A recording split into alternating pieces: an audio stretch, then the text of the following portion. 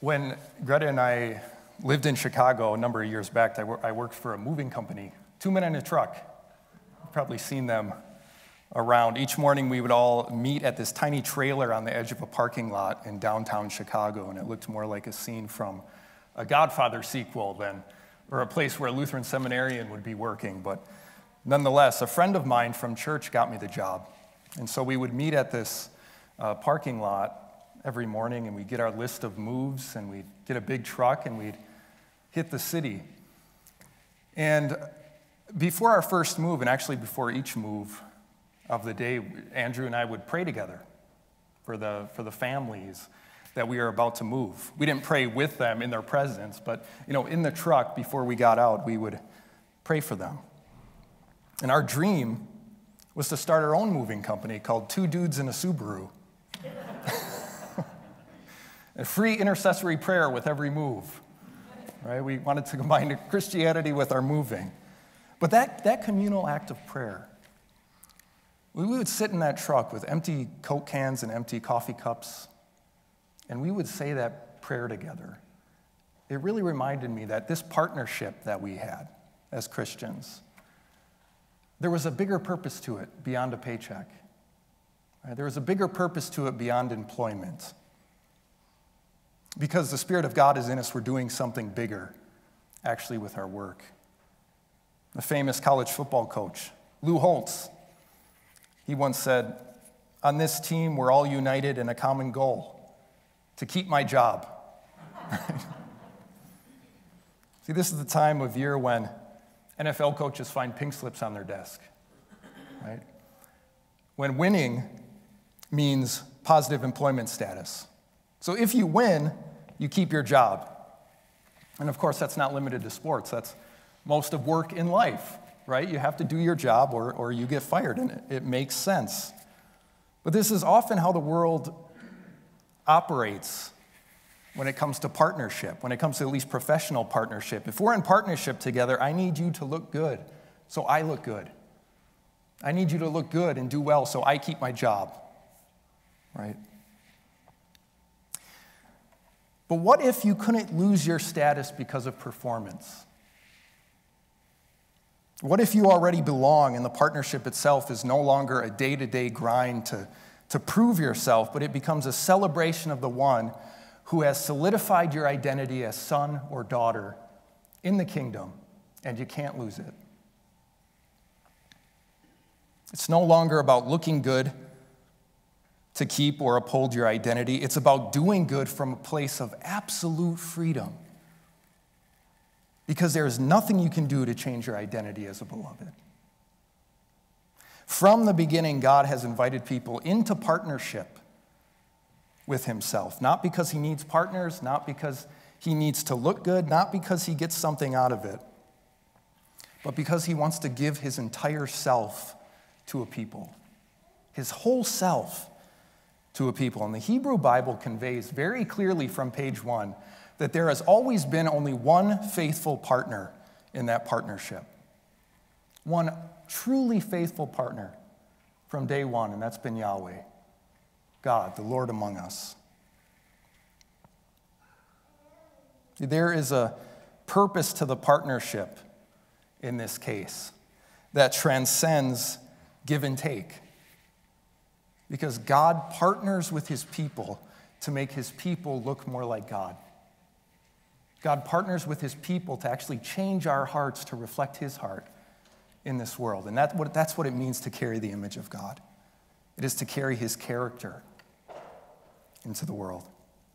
The life of Joseph is really a lesson in God making the heart of a troubled man look like the heart of God right? And he's a deeply modern character, Joseph is. You'll recall earlier in Genesis that Joseph is hated by his brothers. He's hated by them so much so that he's sold into slavery by them.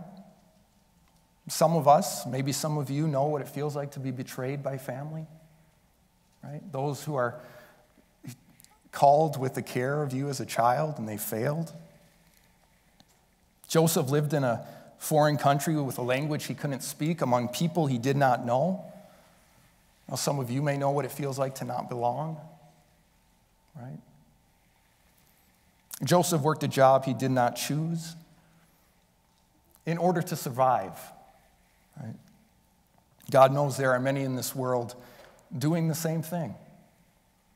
Some of you may know what it's like to give up dreams and serve a career you do not love in order to provide for a growing family you could not love more.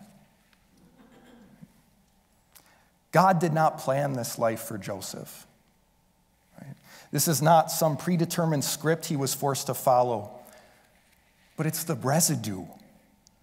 A life of tragedy is the residue of the world's refusal to partner with God from the beginning, to take, to take Godship to ourselves and become like God. But your pain and mine is not a part of a plan, it's not a part of a predetermined script. But God will partner with you in the midst of your pain to make you look more deeply like God, if you want to be. He will partner with you. He is eager to restore the muddied up image of God in ourselves for us to be carriers of his character in the world. The, the heart that we see in Joseph in Genesis 40 is the new heart that God has given him. In the midst of the story, in the midst of the pain, in the midst of the brokenness throughout his whole life. And Joseph himself is a prisoner at this point. You'll remember, he's a prisoner, but because of his skills, he's, he's uh, charged with keeping care over these, these two officials, the cupbearer and a baker.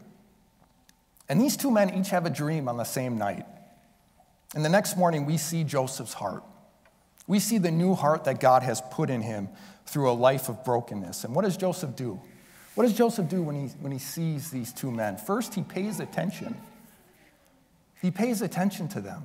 He notices that there's sadness in them, that there's depression. See, he knows depression when he sees it. He pays attention to the people around him, he doesn't ignore it. He's deeply present to those around him. And second, he gently investigates. He doesn't just stop with noticing the sadness, he actually asks them a question about it, right? Why do you look so sad today? And there's a number of moments in the Bible where God asks a question. Like in Genesis chapter 3, for instance, when God is asking Adam, Where are you? Adam, where are you? Now, that's not just a question of location, it's a question of spiritual and emotional location as well. Where's your heart? Right? We see God digging deeper. We see Joseph digging deeper, reflecting the character of God. And third, Joseph invites conversation. He digs deeper still, right? He doesn't stop with the feeling. Remember in verse 8, the cupbearer and the baker, they both say, We both had dreams yesterday, and there is no one to interpret them. And Joseph said to them, Do not interpretations belong to God? Tell me your dreams. Tell me your dreams. We see attentiveness, we see compassion, we see invitation. Joseph looks a lot like a first century carpenter rabbi we call Lord, doesn't he? Right? If you look at the way Jesus talks to the woman at the well, his attentiveness to her, his compassion to her, his willingness to dig deeper with her into her real story, not to run away. That is the heart and personality of God. That's the heart of God, Yahweh among us. And He is putting that heart in you. And He is putting that heart in me. He put that heart in Joseph. That's our inheritance. Right? As one of the Australian, I have a, when I was back at Regent College in Vancouver in seminary, I had a professor who taught me the New Testament in Australian an Australian New Testament uh, scholar. And, and he used to say, when he talked about the, the living waters, which are our inheritance, the, the living waters of life, which God has freely given us, he used to say, This is your inheritance. When will you cash your check? Right? There is nothing you have to do. Every last drop of it is gift. So drink up, drink up from this fountain. He is putting your, his heart in you, and he's putting his heart in me. This is God's heart shining through Joseph's life. And this is nothing like professional partnerships in the world, right, that are based more on performance and politics. This is a partnership ignited by a promise that God wants to be your God. That was his promise from the beginning. He is not begrudging in his love, he is committed to you. He's committed to you. And I love what Charles Spurgeon says about God's commitment, the permanent, the permanence of God's commitment. He says this Charles Spurgeon, the great, the great prince of preachers from the 1800s, he said this Where the grace of God really converts a man, he is not converted merely for the next quarter of a year with the possibility of falling from grace afterward. That is a human conversion, which can ever come to an end. But if God converts you, you can never be unconverted. As conversion is the work of the Spirit of God, it is clear that it must need the same power to undo it as first did it. He who has made you a Christian will keep you a Christian. And unless one stronger than he shall come in and undo his work, you shall never go back to your old idols again. See, you can't lose him, so you have nothing to lose. You have nothing to lose. See, that's why the martyrs of the first century could face what they faced, because they knew they could not lose him. Next time you notice a broken heart in your presence, next time you hear someone say they can't make sense of their story, Next time you hear someone ache for real life and long for a new world, know that their cry is the same cry as that of the baker and the cupbearer. Right? We have dreams, but there's no one here to tell us the truth. We know there's supposed to be more, but there's no one here to give us the truth of who that is or what that is. See, it's a cry of it's a cry out for meaning. It's a cry out for assurance. And Joseph, because of his story, because God partnered with him, is right in the place where he needs to be to be able to speak truth into their lives. Right?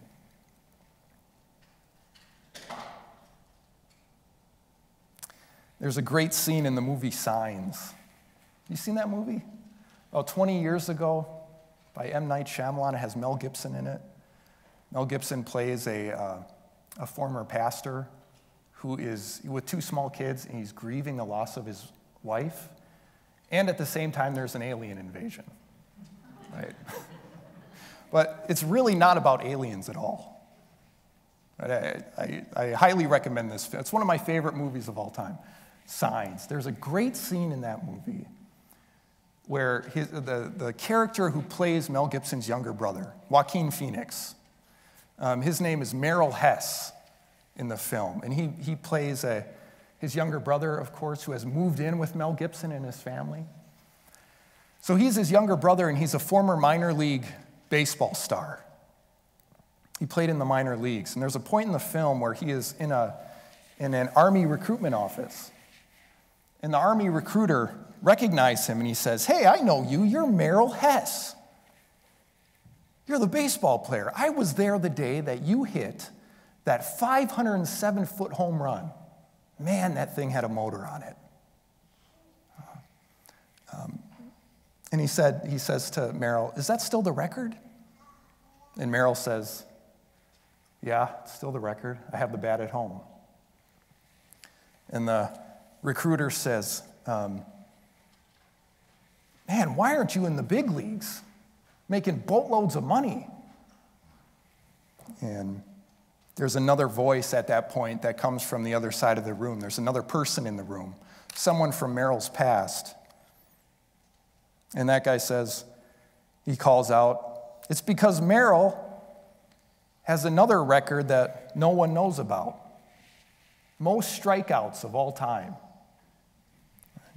He has more strikeouts than any two players. And the re- recruiter turns to Merrill and he says, Is that true? You have the strikeout record? And Merrill responds simply, It felt wrong not to swing.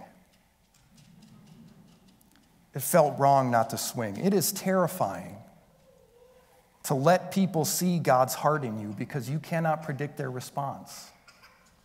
But swing away anyway because there is nothing to lose, because you cannot lose Him. Swing away anyway because your performance does not change your status. God took a swing, didn't He? God took a swing before we even knew what was going on. He has consistently put himself and his name on the line, and we have consistently let him down, but he is still here. He is still here, and he has not let his people go. He risked everything and he gave everything for our redemption. He took a swing because of his faithfulness. Jesus on the cross, it looked like an absolute strikeout, a total failure a complete tragedy, but it was absolute victory. Absolute victory. You know, there were 2.5 billion Christians in the world in 2019. 2.5 billion, and there are more now. Just two years later, later, because of the growth of churches in China and Africa, right, where the gospel is exploding in those places. Most of our brothers and sisters in the faith look very different from us and speak a completely different language from us. But see, this is a sign of God's victory. It's a sign of God's victory that the gospel is exploding in the way that it is. It looked like failure 2,000 years ago, but it was absolute victory because of the faithful, persistent, generous heart of God dying like a criminal so that we could live as sons and daughters. There's a young man I see in the hospital. He's about my age and he's, he's dying. He told me the other day, he said, Spiritually, I'm good. Spiritually, I'm good. I just hope God feels the same way. Right? And the answer to that implied question is that you are more good, you are more than good with Him because it was never about your goodness. It's always been about the faithfulness of Jesus Christ, our true partner. It's never been about our goodness. God feels better about you than you can even fathom. The life of Jesus in history tells us that. He did it all. There is no professional kind of partnership in salvation. God does it all. He did everything. We don't have to wonder who He is or what He's like. We just have to look at the man on the cross the man who gave his life for us. And that's all the data we need. That's the life that we need. It's more than salvation, it's sanctification, it's becoming like him. He's putting his heart in us. He is partnering with you, and he's partnering with me right now to put his heart in us. You cannot earn it, it is all him because he is our ever faithful partner. He's our ever faithful partner. So let's pray.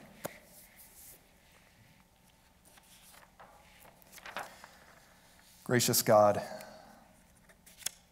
we are overwhelmed sometimes by the incredible nature of your grace. That you loved us before we could even say love, before we even knew what love is, and that you are putting your character in us.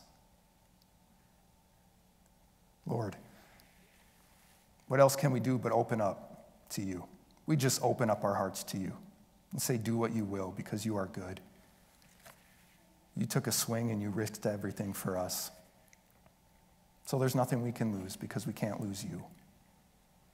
So with that, we give you our lives, we give you our families, we give you everything because you are love. You are love. In the name of Jesus, we pray. Amen.